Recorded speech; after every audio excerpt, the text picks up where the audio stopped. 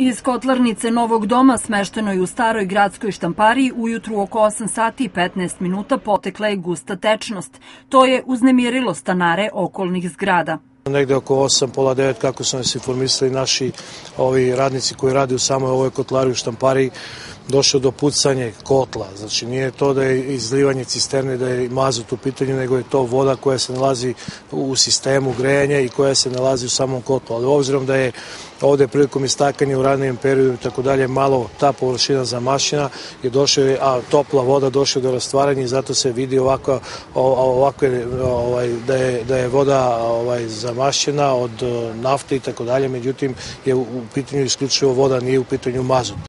Razlivena tečnost nije stvorila veći ekološki problem. Građani mogu biti zaista mirni zato što koncentracija mazuta je veoma mala, do procene, same procene će odlučiti ekološka inspekcija, već se rade ove preventivne mere i sanacija, sanacija na licu mesta, tako da građani mogu da budu potpuno mirni. Nadležne inspekcijske službe su sačinile zapisnike, a komunalna policija će postupiti u skladu sa svojim ovlašćenjima.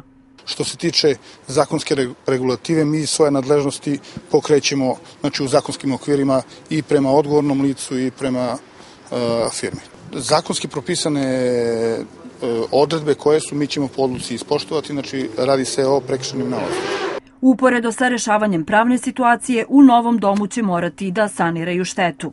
Mi ćemo ovo što se desilo u najkraćem mogućem roku da saniramo. Kao što vidite na samom terenu ovde smo izveli našu ekipu koja će sa peskom, tako smo upusta dobili od nadležnih urana da u dva, tri navrata stavljamo ovaj pesek pa čišćenje, pa pesek pa čišćenje i onda ćemo ne, ovaj, sa, sa nadležnim organima i sa onima koji su zaduženi za ovakve stvari ovaj, da taj otpad negde ovaj, po zakonu i, i, i smestimo, odnosno da, da ostranimo što se tiče ove štampare.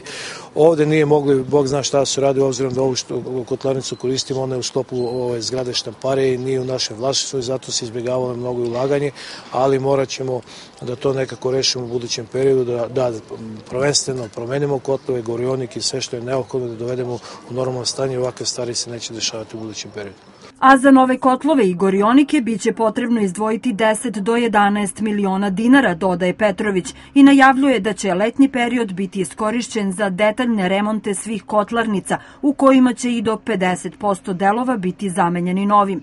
Neki od kotlova u sistemu novog doma stari su između 35 i 40 godina, što je i slučaj sa kotlom u zgradi štamparije. Preventivno na lice mesta došli su vatrogasci, komunalna inspekcija i policija. Po rečima nadležnih, izlivanje tople vode iz kotla Novog doma sa primesama mazuta ipak neće uticati na zdravlje stanovnika ovog dela grada.